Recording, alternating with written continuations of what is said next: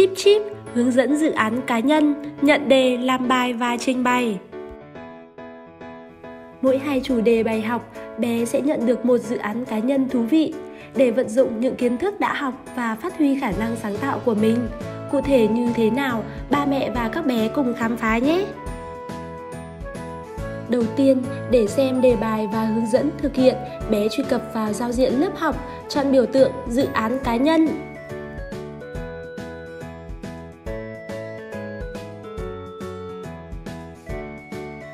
Ba mẹ cũng có thể truy cập vào app Chip Chip Phụ huynh. Ngay tại trang chủ có mục Dự án cá nhân sắp tới, ba mẹ bấm vào hướng dẫn. Tiếp theo, bé chọn một trong hai đề bài và sáng tạo ra sản phẩm riêng của mình nhé.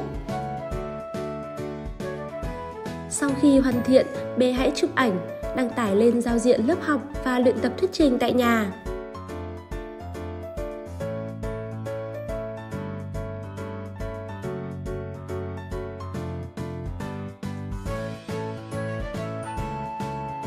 Cuối cùng, tới buổi thực hiện, bé hãy cầm sản phẩm của mình thuyết trình trong lớp học và trả lời các câu hỏi của thầy cô.